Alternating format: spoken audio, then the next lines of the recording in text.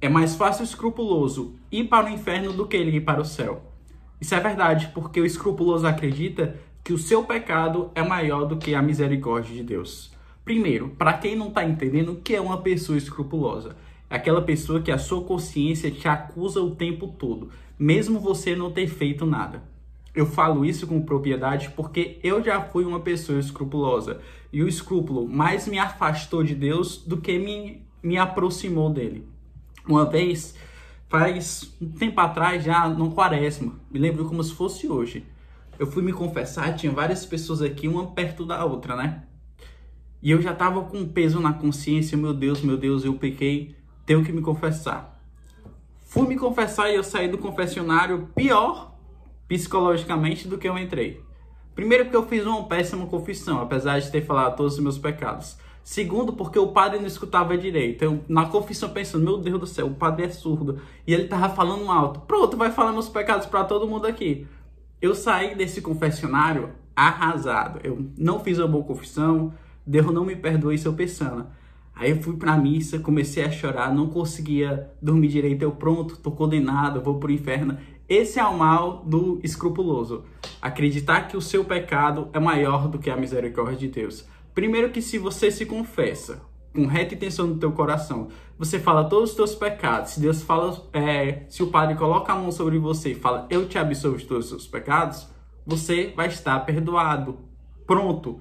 Acontece que muitos católicos, eles passam é, o dia vendo vídeo aí de padres só falando de pecado, pecado, falando de inferno, inferno, inferno, falando que a pessoa não é digna de ir para o céu, falando que se a pessoa está em pecado, a pessoa vai para o inferno. Aí vai ver o vídeo de outras pessoas que são da igreja, que passam o dia todo rezando, que passam o dia todo com véu aqui, reza o texto, é, o rosário todos os dias, acorda cedo para rezar o rosário. Aí o que é que a pessoa pensa? Pronto, o pessoal aí é santo, vai todo mundo pro céu e eu vou pro inferno. Não é assim, meu povo. Pelo amor de Deus, não existe isso. Primeiro, tá com pecado? Vai ao padre, se confessa, ele vai te absolver. Pronto. Confia na misericórdia de Deus. Deus procura mais motivos para te salvar do que motivos para te condenar. Se você está indo até o padre é porque você está arrependido. Deus olha para o teu coração, ele sabe que tu está arrependido. Por mais que tu saia da confissão com o sentimento de que tu não foi perdoado. Ah, mas eu esqueci um pecado. Não importa, Deus te absolveu do mesmo jeito porque ele viu a intenção do teu coração.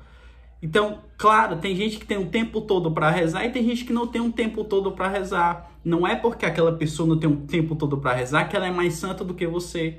Muitas vezes você tem que sair, você tem que trabalhar, você tem que sustentar a sua família, você tem outras obrigações para fazer que são coisas estressantes. Um momento ou outro você vai se estressar. Geralmente aquela pessoa que tem uma espiritualidade, que pode rezar, acordar cedo para rezar o texto, que pode ir para a missa todos os dias, não significa que ela mereça mais a salvação do que você.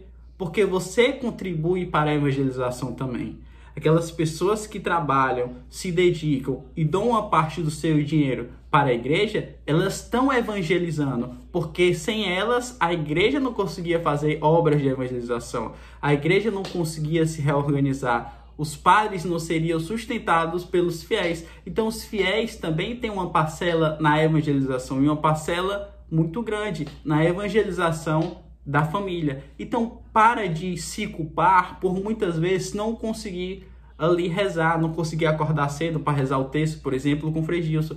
Para de se culpar por causa disso, porque Deus olha para o seu trabalho, Deus olha para o seu esforço. Deus olha que você é uma pessoa honesta, que você acorda cedo para poder sair para trabalhar e sustentar a sua família. E é normal você ter estresse durante o dia. Quem não se estressa? Todo mundo se estressa, até o padre se estressa com o problema das, das paróquias, Todo mundo se estressa. E não é porque você se estressou ou falou um palavrão sem querer que saiu da sua boca que você vai para o inferno, não.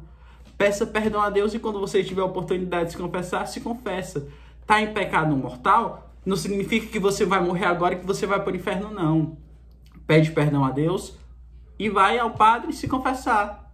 Falou o teu pecado, abriu o teu coração, teve a intenção de contar toda a verdade e pronto, ele te absolveu, Deus te absolveu. O padre falou, eu te absolvo dos teus pecados, pronto, tá, absolvi, tá absolvida. Acontece que muitas pessoas, elas têm um medo tão grande de ir para o inferno, que é louvável, mas saiba que ninguém é digno de ir para o céu? Ninguém. Eu não sou digno, você não é digno de ninguém. O único que não teve pecado nesse mundo foi Jesus. Até os apóstolos tiveram pecados, tiveram pecados. Aliás, eu gosto muito da história dos apóstolos, Atos dos Apóstolos, porque nós vemos que eles são pessoas como nós, pessoas com falhas, pessoas com defeitos, pessoas que erram, mas pessoas que mesmo assim procuram a Deus. E é isso que Deus olha. Deus olha a reta intenção do teu coração em, procura, em procurá-lo. Deus olha a tua necessidade de Deus.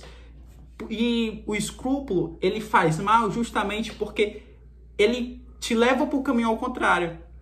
Uma pessoa escrupulosa, quando peca, vai ao padre, se confessa e mesmo assim sai e acha que não foi perdoada, ela tem um momento que ela não aguenta mais de tanta angústia que ela se rende ao pecado. Ela pega e fala: Não, eu sou pecador, não tenho mais vontade de rezar, não tenho mais vontade de ir para missa, não tenho mais vontade de ir para adoração, não tenho mais vontade de rezar não tenho mais vontade de fazer nada. Eu já estou condenado. Pronto, é isso que o demônio quer que tu pense.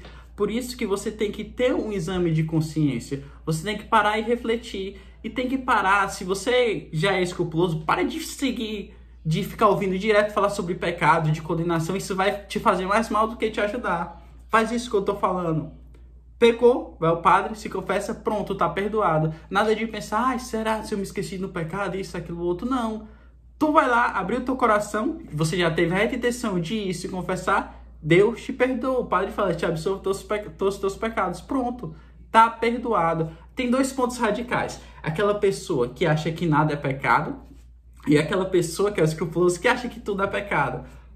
Esses dois pontos extremos, pronto, essas duas pessoas estão tá com problema. Um lado, a pessoa que não liga para a salvação e a outra e a de outro lado, a pessoa que liga para a sua salvação, que é importante, é louvável, mas que essa pessoa pensa que o seu pecado é maior do que a misericórdia de Deus. Pensa que Deus não sabe de todas as coisas. E Deus sabe de todas as coisas. Deus sabe da intenção do teu coração. Além do mais, Deus sabe as dificuldades que tu enfrenta. Não é fácil, meu povo. Se fosse fácil, Adão e Eva não tinham pecado no paraíso. Adão e Eva lá do lado de Deus pecaram. Imagina a gente. Mas é importante que, se você quer ser santo, claro, todos nós queremos ser santos para chegar até o céu, devemos estar, primeiramente, com a mente limpa, uma mente sadia e, e se confessar sempre quando tiver necessidade, sempre quando tiver pecado, cair em pecado. Todo mundo cai em pecado, todo mundo. Todo mundo está exposto ao pecado. Todo mundo, não existe esse ser humano que não esteja. Ah, o meu padre não está, não está assim. Deus é misericordioso, Deus é maior do que o teu pecado. E é isso que o escrupuloso deve carregar na sua mente e no seu coração. Se confessou, está absolvido, independente do pecado. Deus é misericórdia. Gostou do vídeo? Não esquece de deixar o like e se inscrever no canal.